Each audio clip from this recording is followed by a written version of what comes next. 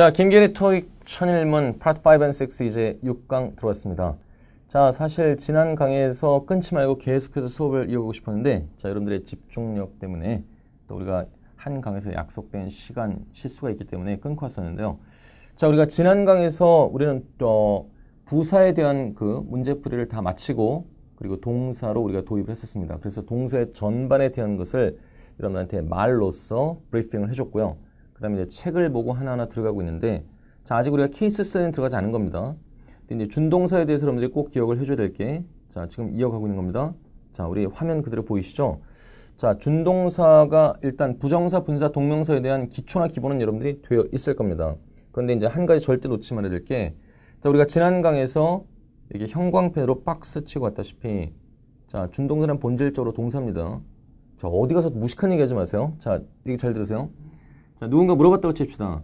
동명사가 명사예요? 동사예요? 물어봤을 때.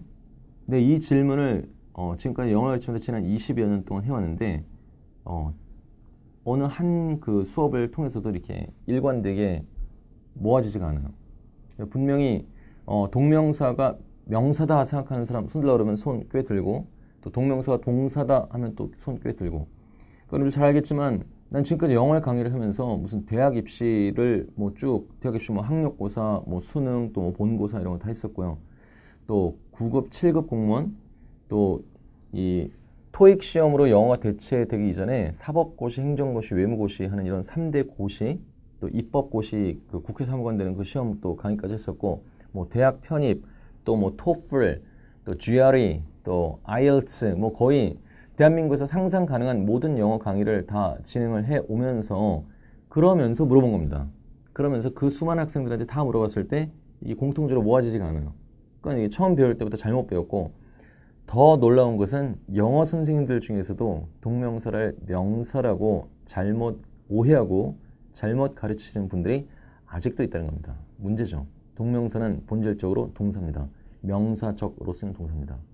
그래서 동명사 수식을 뭘로 해야 되겠습니까? 형용사로 수식하나요? 부사로 수식하나요? 당연히 부사로 수식하는 거고요. 자, 그리고 중요한 건 뭐냐면 거기 보세요. 의미상의 주어가 필요하다면 밝혀줘야 됩니다. 의미상의 주어가. 그러니까 영어는 명령문을 제외하고 반드시 뭐가 주어가 있어야 돼요. 동사는 주어가 있어야 됩니다. 그러니까 명령문일 때는 주어 유가 빠진 이유가 뭐냐면 명령문이란 건 누구한테 해요? 얼굴 마주보고 너한테 하는 겁니다. 당신한테 하는 거예요. 그러니까 굳이 거기다가 주어를 붙일 필요가 없는 거죠. 마주대하면서 하세요, 해, 하지 마, 하지 마세요. 이러고 있는 거니까. 그 경우를 제외하고 다 주어가 있는 거예요. 그 사람들 우리 영어에서 보면 가령 예를 들어서 아, 요즘 날씨가 덥다 할 때 매우 덥다라고 뭐 매우 덥고 만약에 저 습도가 높다라고 했을 때 뭐라고 표현해요? It is very hot and humid these days 이렇게 얘기하겠죠? 근데 거기서 it 무슨 뜻이에요? 아무런 의미도 없습니다. 그래서 아무것도 가리키지 않는데 그냥 쓴 주어다 해서 이런 걸 우리는 비인칭 주어라 하는 거죠. 아무것도 가리키지 않는다는 얘기입니다. 그거 왜 쓸까요? 가령 what time is it now라고 했을 때 거기서 it은 뭘 가리킬까요? 아무것도 가리키지 않습니다. 가령 자, 뭐 오늘이 뭐 저 독립기념일이다 했을 때 자, 뭐라고 표현합니까? 뭐 today라고 표현할 수도 있겠지만 it's Independence Day today 이렇게 표현할 수 있겠죠. 자, 여러분 알다시피 뭐 그것이 시간이든 아니면 뭐 기온을 나타내든 뭐 명암을 나타내든 명암 it's bright outside 어? 어 밖에 환해 자 뭐가 됐건 간에 거기서 it를 쓰는 이유가 뭘까요? 영어의 동사는 반드시 주어가 필요하기 때문입니다. 그래서 부정사, 분사, 동명사도 본질적으로 문장 내에서 명사적, 형용사적, 부사적으로 활용되고 있다 할지라도 본질적으로 동사이기 때문에 만약에 주절의 주어와 그 준동사를 쓰인 것에 대한 동작 주체가 다른다고 할 때는 별도의 의미상의 주어를 밝혀야 되는 겁니다. 그 부정사 같은 경우는 앞에다가 for 하고 어, 다음에 이제 목적격을 써서 그리고 동명사의 경우는 이제 원칙적으로 동명사는 동사가 명사가 되는 거니까 가령 그는 죽었다 했는데 죽었다란 말을 죽음이라는 명사로 바꾸면 뭐라고 우리말 뭐라고 하면 돼요? 그의 죽음 하면 되겠죠. 자, 그래서 동명사의 의미상해주는 원칙적으로 소유격으로 그러나 목적격을 쓸수 있고 구어체에선 그리고 분사에 대해서 의미상의 주어가 필요할 때는 그냥 분사의 앞에다가 그대로 붙여놓는 걸로써 이런 식으로 의미상의 주어를 밝혀줘야 되고요. 그리고 자 만약에 어, 이 준동사로 쓰인 동사가 본질적으로 타동사다. 그러면 전치사의 도움 없이 곧바로 목적어 와주면 되는 거고요. 그리고 또 불완전하다 그러면 보호어를 쓰는 거고. 그리고 태와 시제가 존재합니다. 무슨 말이냐고요? 우리 부정사 기본적 형태가 어떻게 돼요? to하고 동사 원형이죠. 자, 그러나 그것이 하는 것이 아니라 되는 것일 땐 to be, pp 이렇게 되잖아요. 그리고 자, 또 뭐가 존재하냐면 어, 시제가 존재합니다. 그래서 문장의 진짜 동사의 시제보다 먼저 벌어진 상황에 대해서 준동사를 표현할 때는 to have pp 또는 이제 우리가 분사나 동명사를 쓸 때는 having pp 형태로 해서 자 이런 식으로 분명히 뭐가 어, 시제까지까지 존재를 합니다. 그리고 부사의 수식을 만드는 거. 그러니까 요거를 꼭 기억해 줘야 됩니다. 이게 사실 준동사 문법에서 어찌 보면 가장 중요한 걸 할 수 있습니다. 준동사, 부정사, 분사, 동명사는 자 거듭 강조합니다. 본질적으로 동사다. 그래서 의미상의 주어가 필요하고 그것이 타동사라면 전치사의 도움 없이 곧바로 목적어가 올 수 있고 또 경우에 따라 뭐 이형식 동사라면 보호가 곧바로 올 수도 있고 다음에 태와 시제가 있고 그렇죠. 그래서 그냥 ing 쓸 수 있지만 being pp 하고 쓰이고 있다는 얘기는 그 수동이 되고 있다는 얘기입니다. 그 다음에 부사의 수식을 만드는 거. 자, 이걸 기억하는 게 정말로 중요합니다. 아시겠죠? 자, 그 다음에 이제 조동사에 대해서 자, 조동사는 먼저 문법적인 기능을 도와주는 기능 조동사가 자, 비동사, 해부동사 두 동사가 있죠. 그렇죠? 그래서 B 플러스 PP 하면 수동태, B 플러스 ING 하면 진행형, have PP 하게 되면 완료형 해서 다 여러분들 상식적으로 알고 있는 얘기를 했습니다. 그리고 일반 동사가 지 혼자 할 수 있는 게 없기 때문에 부정문 만들 때 둘을 이용해서 또 의문 만들 때 또한 둘을 이용한다는 거. 뭐 그 밖에도 무슨 부가 의문문을 만든다든가 도치구문을 해서라든가 자 그럴 때 죄다 do, does, did 시제와 인칭에 맞게 두 동사의 도움이 없으면 어, 일반 동사가 지 혼자 문법적으로 할 수 있는 게 아무것도 없어요. 자, 그 다음에 이제 어, 본동사에다가 의미를 도와주는 뭐 허락을 나타낸다든가 추측을 나타낸다든가 충고나 의무 그렇죠? 이런 거 나타내주는데 우리가 상식으로 알고 있는 can이나 may, will, must가 될 거고 그리고 조동사 다음에 동사 원형이 온다는 거 매우 중요하죠.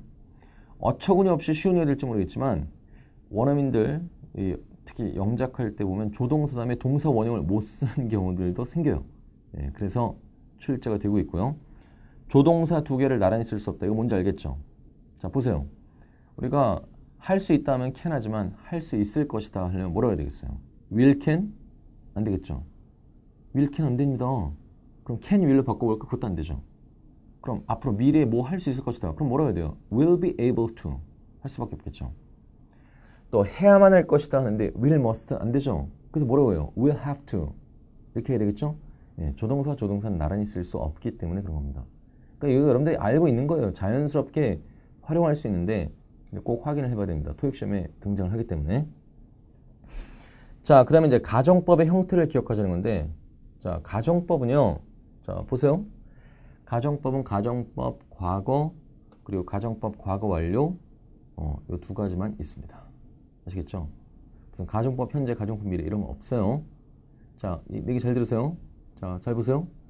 일단 우리가 어, 가정법에서 과거냐 과거 완료냐 이거는 실제 그 내용의 시간을 지칭하는 표현이 아니라 동사의 형태를 보고 붙인 명칭입니다.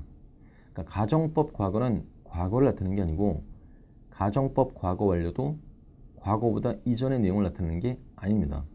그냥 형태적으로 붙인 명칭이에요. 자, 지금 무슨 얘기냐? 근데 이게 왜 보세요. 우리가 현재라는 시간을 그냥 직설법을 쓸 때는 현재 시제를 쓰잖아요. 근데 왜 가정법을 쓸 때는 과거를 쓸까요? 한 시가 후퇴를 한 겁니다. 왜 그럴까요? 딴 게 아니고 이 우리가 현재 시간이라는 걸 그냥 직설법으로 쓴 현재 시제를 나타내는데 가정법도 똑같이 현재 시제를 써버리면 헷갈리잖아요. 기본적으로. 그리고 가정법이 기본적으로 어떤 겁니까? 그러니까 직, 우리가 직설법이라는 것은 직설입니다. 있는 그대로 설명하는 거고 그리고 가정법이라는 것은 우회적으로 돌려서 유감이나 아쉬움을 갖다가 표현하는 방법이잖아요. 말하는 방법일 뿐이에요. 아시겠어요? 가령 예를 들어서 나는 그 시험에서 모든 문제를 다 풀지 못했다. 직설법이죠. 근데 이거를 똑같은 내용이지만 이런 식으로 아 내가 그 시험에서 모든 문제를 다 풀었었더라면 이건 뭐예요? 똑같은 내용이지만 유감을 담아서 우회적으로 표현하고 있는 거죠. 어, 우리 말에서 어느 말에서나 다 이런 식으로 상황을 있는 그대로 설명하는 게 아니라 유감이나 아쉬움을 담아서 돌려서 얘기할 수 있단 말이에요. 그렇죠? 이게 바로 가정법인 거예요. 그러면 그러한 유감이나 아쉬움을 나타내는 데 있어서 어떤 차이를 줘야 되겠습니까? 영어에 있어서는 바로 시제의 차이를 부여를 한 겁니다. 그래서 현재의 이야기지만 가정법을 쓸 땐 하나 후퇴합니다. 가정법 과거 형태로 과거의 이야기지만 그걸 가정법으로 쓸 때는 가정법 과거 완료의 형태로 그쵸? 그러니까 그것만 헷갈리지 않으면 돼요. 그리고 가정법은 시제 일치가 중요합니다.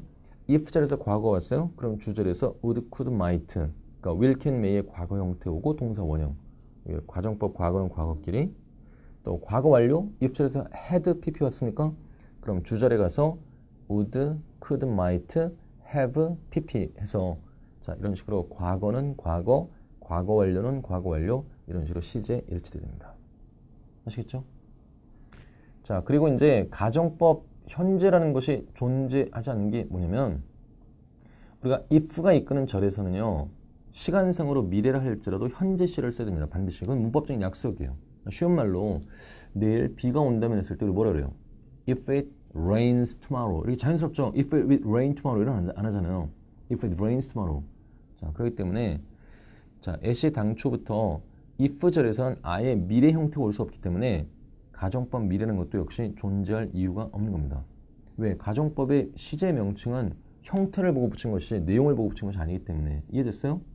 자, 그래서 가정법에는 과거와 과거 완료밖에 없는 거고요. 그리고 이제 if절에서 should가 쓰는 경우가 있습니다. 그건 뭐냐면 딴 게 아니에요. 거기서 should는 해야만 한다가 아닙니다. if절에서 should는 혹시라도 만약이라도 하는 이런 의미를 가져요. 그래서 혹시라도 더 질문이 있으시면 if we should have further questions 알겠어요? 이렇게 씁니다. 그리고 중요한 건 이제 가정법에서 앞에서 수업을 하면서 얘기했었지만 if가 생략이 되면 주어 동사가 뒤바뀝니다. 도치가 돼요. 예를 들어서 if I had solved all the problems 내가 모든 문제를 풀었었더라면 하고 이 가정법 이제 조건지를 쓰는데 거기서 if를 생략시키면 had I solved all the problems 하고 이렇게 바뀌는 거고요. 방금 얘기했던 것처럼 if I, uh, if we should have further questions 하고 돼 있을 때 거기서 이제 if가 빠지면 도치가 돼서 should you have further questions 하고 이렇게 바뀌게 됩니다. 자 말로만 하니까 헷갈린다고요. 다음 페이지에 나와 있는 걸 미리 여러분들한테 말로써 풀어서 얘기를 한 겁니다. 자 그래서 그 가정법에 대한 건 이제 우리 case by case를 하면서 얘기할 테니까 자 이 정도로 해서 이제 어, 전체적으로 이 영어의 동사와 준동사 전반에 걸친 담론을 했는데 자 이게 기초나 기본까지 튼실한 사람이라고 한다면 지금 말로써 정리하는 것에 대해서 다 고개를 끄덕이면서 이해가 가겠지만 자 좀 부족하다 싶을 때는 어 좀 보여주면서 이게 저렇게 썰만 풀까? 자 걱정하지 말고요. case by case로 case by case로 스터디 한다 그랬죠? 자 그래서 이제 지금까지 이제 말로써 지난 강의 후반부와 이번 강 시작부에 걸쳐서 이루어졌었던 영어 동사, 준동사에 대한 전반적인 그런 담론들에 대해 자 하나하나 케이스별로 파헤쳐 가겠습니다. 자 그러면 먼저 동사 자리의 파악 타이틀을 보세요. 세 가지 주어졌죠. 주어 다음에 동사 와야 되겠죠? 그쵸? 자, 그 다음에 문장에서 명령문 쓸 때 동사 원형 오겠죠? 공손하게 얘기하고 싶다면 please라는 말 붙을 수 있다는 겁니다. 자, 그 다음에 조동사 다음에 동사 원형을 된다는 거. 자, 초딩도 알 수 있는 이 어처구니 없이 쉬운 이 세 가지 어, 정기 토익 시험에 최소한 한 문제, 두 문제는 꼭 출제가 됩니다. 그래서 그 예문을 보시면 자, 핵심 문장 첫 번째 어떻게 되어 있습니까? 먼저 the corporation's updated vacation procedures에서 주어 다음에 restrict 동사 오고 있죠? 자, 그 다음에 2번 가면 please monitor your patient's charts as carefully as you can 해서 자, please 다음에 명령문 오고 있는 맥락이죠. 자, 그 다음에 3번 가보면 all department has에서 모든 부서장들 이라는 주어 오고 다음에 조동사 플러스 동사 원형이 오는 자, 바로 이런 패턴들입니다. 그대로 토익 시험에 언제 여러분들이 정기 토익 시험을 보더라도 여기서 최소 두 문제는 반드시 출제가 됩니다.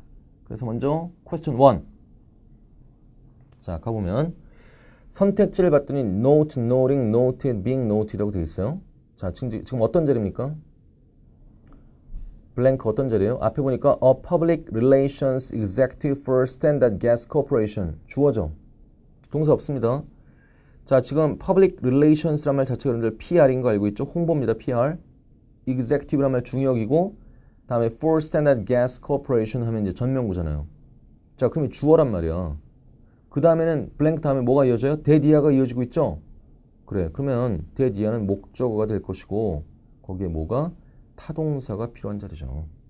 그러면 동사 온전한 형태로 되어 있는 걸 찾아야 되는데 자, 지금 이제 B번과 D번은 소거가 되고요. 그리고 A하고 C가 남게 되는데 시제를 우리가 확인해야 되겠죠? 자, 일단 그리고 주어가 public relations executive하고 a public relations executive하고 단수죠. 그렇기 때문에 현재라고 했을 때 note하고 그대로 쓰면 안 되죠. 만약에 3인칭 단수 현재라고 한다면 note하고 됐어야 되겠죠. 더군다나 중요한 것은 대절 쓰고도 시제가 뭐예요? had 보입니까? It had increased에서 과거 완료가 주어지고 있단 말이야. 그러면 여기서 현재 시제가 오면 안 되고 자 과거 시제가 와 있는 C번이 답이 되겠죠. 이해됐습니까? 자, note는 뜻이 상당히 많습니다. 특히 뭐 명사를 쓸 때 아주 다채로운 뜻을 갖는데 어, 동사를 쓸 땐 뜻이 둘 중에 하나입니다. 말하다 이거나 주목하다 이거나 자 여기선 말하다라는 뜻이 되죠. 됐습니까? 자 넘어갑니다. 자 question 2로 넘어갔습니다. blank your writing skills 하고 되어 있어요. 그리고 다음에 이제 by ing하고 시작되고 있죠. 다음에 hosted가 동사처럼 보이지만 아닌 거 알죠? host란 말이 동사를 쓰면 뭐예요? 개최하다라는 타동사입니다. 뒤에 이제 by로 해서 연결되고 있어서 pp로서 앞에 컨테스트를 꾸며주고 있는 거죠. 이해됐나요? 자, 문장에는 동사가 반드시 하나는 꼭 있어야 된다 그랬습니다. 이 문장에는 동사가 없죠? 자, 그리고 문장의 맨 앞입니다. 여기 뭐가? 명령으로서 show, D번이 들어가면 되겠죠. 이해됐죠? 자, 그래서 show your writing skills. 당신의 글쓰기 스킬에 대해서 보여주세요. 뭐 함으로써? by entering the poetry contest. 자, 그 시 쓰는 시합이니까 이제 백일장 어떻게 되겠죠? 거기에 참가함으로써 어떤 거야? hosted by the Museum of Contemporary Literature. 이러한 뮤지엄에 의해서 개최된 이렇게 되겠죠. 잘 알겠습니까? 자, 이거 꼭 기억하세요. 다시 한번 여러분 고개 들고 보세요. 자, 절 보세요. 영어 문법에 있어 가장 중요한 게 뭐냐면 영어의 문장에 동사 하나는 꼭 있어야 된다. 그리고 하나만 있어야 된다. 만약 동사를 더 쓰고 싶다면 동사의 개수보다 하나 적은 수만큼의 접속사, 관계사 포함해서 그것이 필요하다. 그걸 꼭 기억하세요. 자, 그 다음에 question 3로 넘어갔습니다. 자, question 3로 넘어가 보게 되면 블랭크의 앞에 머리 갈 필요도 없이 일단 앞에 콤마 이 demonstrated 콤마까지 무시해버리고 online links부터 봅시다. 주어죠? 그리고 do not 이런 뭐야 조동사죠. 다음에 동사 원형 와야 된다는 거 알겠죠? 너무 쉽습니다. 해석 전혀 필요 없이 boost 하고 와주면 되겠죠. 자 일단 요 세 가지 이 페이지에서 우리가 39페이지 다룬 거 어떤 건지 알겠죠? 자 동사의 가장 기초적이고 기본적인 내용 이게 전기 토익 시험에서 최소 두 문제는 꼭 주어진다는 거 잘 찾아낼 수 있어야 됩니다. 자, 그 다음 넘어가서 다음 페이지 갔습니다. 자, 자동사와 타동사에 대해서, 자동사와 타동사에 대해서 구별할 수 있어야 되겠죠. 자, 기본적으로 우리가 뜻 갖고 구별하는 것이 가장 기본이지만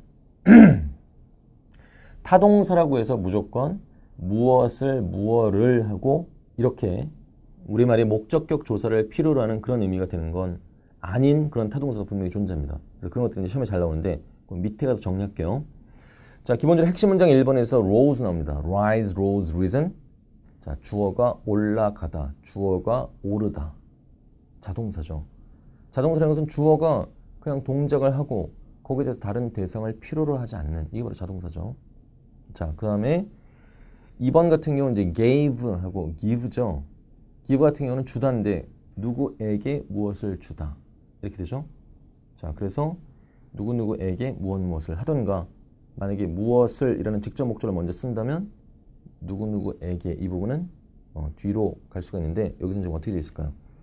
자, Ms. Ainsley gave a comprehensive lecture. 자, comprehensive란 말은 종합적인 이런 뜻인다 그랬어요. 자, Ainsley는 종합적인 강의를 했다. 뭐에 대해서? On dangers to the food supply. 자, 식품 공급의 위험성에 관한 어디에서? At the club's monthly meeting. 자, 그 클럽의 월간 회의에서 누구누구에게라는 표현은 주어지지 않고 그냥 무엇 무엇을에 해당되는 직접 목적만 주어진 상태죠. 자, 타동사입니다. 자, 그러면 밑에 내려가 보면 이제 빈출 자동사와 빈출 타동사에 대해서 주어졌어요. 뭐 arrive라든가 depart, disappear, rise, consist. 근데 consist가 뭐 단독적으로 쓰여서 구성하다인 건 아니죠. consist of가 들어갑니다. 어쨌든 자동사죠. grow. 물론 grow라는 말이 타동사를 쓸 수 있어요. 뒤에 기르다, 재배하다라고 해서 그렇죠. 이런 맥락일 땐 당연히 무엇을 기르고 무엇을 재배하는지 대상이 올 거 아닙니까? 자, 근데 그냥 뭔가가 잘하다, 또 증가하다 이럴 땐 자동사 go, 또 work, wait, 또 last, decrease. 자, 상식적으로 충분히 여러분들이 알 수 있는 자동사들이죠. 자, 타동사에 대해서 가봅시다. 자, 여기 형광펜으로 좀 우리가 칠해야 될 텐데요. 먼저 discuss에 대해서 주의를 기울여야 됩니다. discuss에 대해서. 자, 이게 형광펜이 엄한데 지금 잘못 칠해줘갖고 자, discuss. 그러니까 토론하다 할 때 조금 전에 내가 얘기했죠. 타동사가 항상 무엇을 무엇을이 아니라 해석상으로 다른 해석이 되는 타동사도 분명히 있다고 했습니다. 자, 가령 우리가 토론하다 뭐에 관해 토론하다 이렇게 되죠. 그렇지 않습니까? 그 discuss 다음에 about이라든가 on 같은 것이 오는 걸로 착각하기가 매우 쉬운데 자, discuss는 분명히 타동사입니다. 곧바로 명사 목적어가 돼요. 자, 우리 그 주제에 대해서 토론해 봅시다 했을 때 Let's discuss the subject 하고 곧바로 와준다고요. about 같은 거 들어가면 틀리고 자, resemble에 대해서 주의를 해야 되죠. 누구와 닮다 해서 resemble with 하고 오면 좋을 것 같아요? 아니죠. 그냥 곧바로 명사 목적어 와야 됩니다. 알겠죠? He resembles his father very closely. 그는 그의 아버지를 매우 흡사하게 닮았다. 자, 그 다음에 reach란 말도 역시 될 타동사죠. 어디에 도착하다니까 뭐 reach at 이라든가 reach to 라든가 이런 전치사가 와야 될 것 같아요. 음, 음. 그거는 arrive죠. arrive at, 뭐 get to 이런 것들이 자동사니까 전치사가 필요하겠지만 reach는 분명히 타동사라는 걸 꼭 기억해야 됩니다. 아시겠죠? 자, 그 다음에 이제 suggest 무엇을 제안하다 exceed 무엇을 초과하다 또 give나 receive, attract, access 자, access에 대해서 또 형광펜이 되겠죠. 그러니까 access하게 되면 이제 어디에 접근하다니까 access to라고 쓰기 쉽거든요. 절대 그렇지 않습니다. access가 동사로 쓰일 땐 타동사라는 걸 꼭 기억하고요. 자, 특히 또 attend 주의해야 되죠. 어디에 참석하다니까 attend at 해야 될 것 같아요. 음, attend는 분명히 타동사입니다. 그러니까 어디에 참석하다이든 그러니까 그는 어제 그 회의에 참석하지 않았다 했을 때 he didn't attend the meeting 이러는 거고요. 그리고 어떤 학교에 다니다 하고 될수 있겠죠. 자, 그는 하버드 MBA 과정에 다닌다 했을 때 he attends Harvard MBA School. 아시겠습니까? 이런 식으로 곧바로 전치사 없이 곧바로 목적어 와든. 자, 그래서 최소한 여기에 표현된 것 중에 discuss와 resemble과 reach와 그리고 access 그리고 attend까지 자, 이거는 꼭 기억해 줘야 됩니다. 자, 그래서 이제 토익 기출 다시 풀기로 갔습니다. 토익 기출 다시 풀기. 아까 여기 자, 형광펜이 잘못 칠해졌던 이 부분은 지우겠습니다. 그리고 다시 돌아와서 자, 퀘스천 1번의 별표 하나 하겠습니다. 여러분들 또 잘 틀려요. 선택지를 보면 speak, notify, report, attend에서 다 매우 기본적인 어휘들이잖아요. 근데 전부 다 동사이기 때문에 해석이 필요합니다. 어휘 문제니까. 그러면서 어법도 정확하게 알고 있어야 되죠. 자, 그래서 when you submit the bid, 자, submit이란 말은 제출하다고 bid 하면 이제 입찰입니다. 그렇죠? 뭐 옥션을 한다거나 경매를 하거나 아니면 이제 공개 입찰 같은 거 이제 수주 이런 거 할 때 입찰. 자, 당신이 입찰을 제시를 하면 제출을 하면 Ms. Yashida's secretary will blank her of its receipt 하고 나와 있죠. 그러니까 Ms. 야시다의 비서는 그녀에게 그러한 입찰을 받았다는 걸 알려줄 것이다. 이렇게 되겠죠. 그렇지 않습니까? 자, speak 같은 경우 잘 알아들을 게 밑에 설명도 되어 있지만 자, 이 speak라는 말이 기본적으로 뭐 he speaks Chinese에서 그는 중국어를 말한다. 이럴 땐 타동사예요. 그러나 누구에게 말하다 할 때는 이거 자동사기 때문에 반드시 speak to가 들어야 됩니다. 사람이 올 때. 아시겠죠? 근데 해석을 우리가 전반적으로 안 했다고 하더라도 뒤에 지금 곧바로 블랭크 뒤에 her 하고 오고 있기 때문에 어, 만약 speak를 쓰려면 speak to 하고 된다는 얘기죠. 그 다음에 notify 같은 경우는 자 누구에게 무엇을 알리다 고지하다 해서 inform과 함께 inform, notify, A of B 하고 사용이 되는 아시겠죠? 이거 상식적인 의미죠. 그러니까 최소한 세 가지를 알고 있어야 돼요. 그 밑에도 이제 설명되어 있는데 자 설명되는 부분 형광펜에 볼까 알고 있더라도 notify하고 inform A of B 자 여기다가 이제 이런 식의 어법을 쓰는 거 하나만 더 추가하자면 뭐가 또 있냐면 remind가 있죠. remind A of B 해서 자 remind A of B 이것도 역시 마찬가지로 A에게 B를 상기시켜주다. 그래서 이 세 가지만큼 꼭 익혀줘야 돼요. 자 그래서 이제 B번이 답이 되는데 report이라는 명사가 나오, 아, 동사가 나오고 있습니다. 이것도 역시 무엇을 보고하다 그럴 땐 타동사를 쓸 수 있는데 누구에게 보고하다 사람이 나온다면 당연히 to가 들어가야 되고요. 또 고발하다 신고하다 이런 뜻도 마찬가지고 attend라는 말은 자 어디에 참석하다라는 타동사 그리고 만약에 어, 시중 들다 누구를 보살피다 할 때는 우리가 attend on 하고 될 수 있겠죠. 그렇죠? 왜 우리 비행기에서 승무원을 뭐라고 합니까? 스튜어디스? 이런 그런 무식한 얘기를 자 스튜어디스 하면 남성 어미 steward에다가 ESS 여성형 어미가 붙어서 이렇게 어떤 성별이 드러나는 건 사실 성차별적인 것이 될 수 있다 해서 안 쓰잖아요. 그렇죠? 이런 걸 이런 걸 몰라요? 이 politically correct 해서 정치적으로 올바르게 표현해야 된다 해서 이런 이 공개적으로 사용되는 표현들에 대해서 성차별이나 인종차별적인 표현이 나타나지 않게 되죠. 알겠습니까? 미국 대통령이 니그로입니까? 니거예요? 블랙 아메리칸이야? 안 돼요. 다 세 가지 표현 다 안 좋은 표현이죠. African American 해야 되죠. 피부 색깔이나 인종력이 나타나지 않게. 그러니까 어떤 직함 같은 거 나타낼 때도 chairman 그럼 세상에 지금 여자가 회장인 회사들의 어쩌라고요. chairperson이라고 해야 되죠. 우리가 대변인 같은 거 이럴 때도 예전에 이제 spokesman이라는 말 사용했는데 우리나라 정당 한번 보세요. 전부 다 여성 대변인들이 다 정리 브리핑을 하잖아요.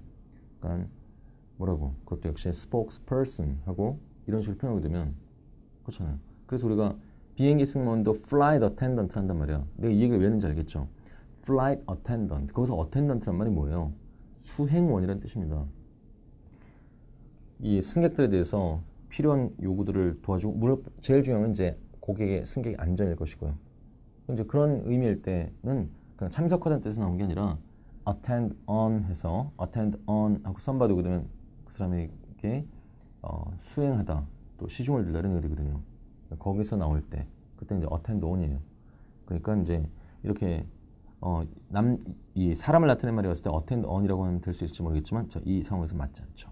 이 하나의 문제 갖고 지금 설명이 상당히 길었는데 자 여러분들이 이제 이러한 것들은 많은 양의 영어에 대한 노출을 통해서 자연스럽게 체득이 되는 그런 부분이죠. 자, 근데 이런 부분 잘해야 됩니다. 대단히 눈에 익은 쉬운 표현들이 나온 것 같지만 어, 나오면 틀리가 매우 쉬운 부분이죠. 자, 그 다음에 자 이번 시간 퀘스천 2까지 하겠습니다. 보면 자 전부 다 또 A, B, C, D 보면 다 동사가 와 있어요. 그래서 이제 PP 자리에 이제 동사가 여기 들어가야 되는 상황인데 뭐냐면 from 하고 곧바로 이어져 자동사라는 얘기죠. 자동사를 골라내는 얘기예요. Send란 말 누구에게 무엇을 보내다 타동사입니다. arrive 자동사죠. 그리고 delay란 말 지연시키다 타동사입니다. examine 검사하다 검증하다 타동사죠. 그 자동사 arrive밖에 없네요. 해석을 한번 확인해 볼까요? The expected delivery 자, 그 예상되고 있는 배송은 has just arrived 막 도착했다. 어, from the supplier 공급업자로부터 그리고 is awaiting signature 어, 서명되길 기다리고 있다. 이런 얘기네요. 됐죠?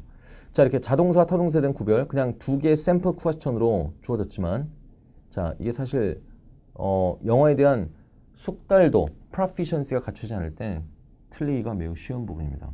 적어도 이 책에 정리된 만큼 그리고 이 책에 practice 테스트를 거쳐 뒤에 가면 우리 actual 테스트가 10회 이상 기다리고 있죠. 자 그걸 통해서 주어지는 걸로 여러분들이 잘 체득을 해두면 자 토익에 나오는 거는 완벽하게 여러분들 커버할 수 있습니다. 자 이번 시간 계속해서 어, 좀 지겨울 수 있을 정도로 이 동사편에 대한 쭉 정리를 해봤는데요. 자, 복습 잘 하시고요. 아직도 우리 동사편은 이론편 끝나지 않았습니다. 아마 한 두 강 정도를 더 해야 끝까지 마무리가 될 수 있을 것 같은데, 자, 복습 잘 해 주시기를 바라고 끝까지 예습도 깔끔하게 돼 있는 상태에서 수업을 받는 게 효과적인 걸 말씀드리면서 자, 이번 6강 여기서 마치도록 하겠습니다. 수고했습니다.